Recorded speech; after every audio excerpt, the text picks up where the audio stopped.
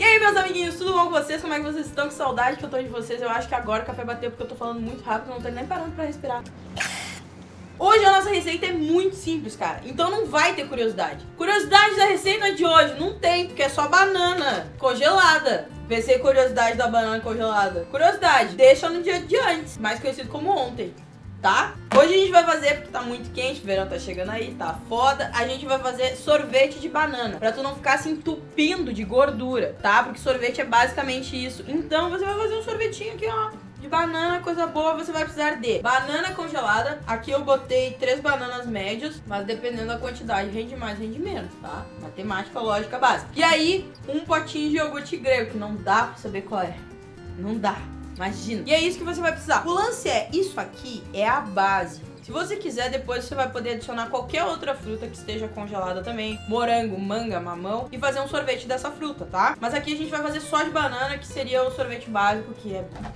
Então você vai precisar também de um processador, vai pegar a banana congelada e vai botar aqui que você deixou congelando de um dia pro outro. E também vai botar um copinho de iogurte grego. Tá? Um copinho tá bom. Bota a música de barulho aí, produção. Gira, gira sem parar. Planeta gira, gira. Muito bem. Bateu o troço ali. Pá. Deu. Já era. Aí você vai pegar negócio super chique aqui. Vai tirar o seu troço. Com muito cuidado, que isso aqui é tipo assim pra matar um ser humano. Hum, olha que coisa mais linda. Saca só isso aqui. Eu não vou fazer agora, porque o nosso tempo é corrido aqui, né? Estamos fazendo um negócio muito rápido, então eu não vou congelar de novo. O ideal é que você faça o quê? Depois que bateu tudo, volta pro congelador por mais umas duas horas, que daí vai, a consistência vai ficar de sorvete mesmo. Isso aqui é aquele sorvete que já deu aquela derretida, né? A derretida básica. Depois que tá pronto esse sorvete maravilhoso, olha que coisa mais linda isso aqui, eu gosto de botar um pouquinho de granola pra terminar assim, ó, com chave de ouro isso aqui.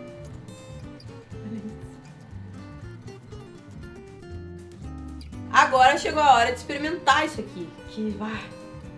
Deve estar tá muito bom. Lembra, se botar no congelador vai ficar com uma textura exata do sorvete. Mas assim não tá nada mal. Nada mal. Tiro terra samba não é nada mal. Ah, música de suspense, atenção. Foi.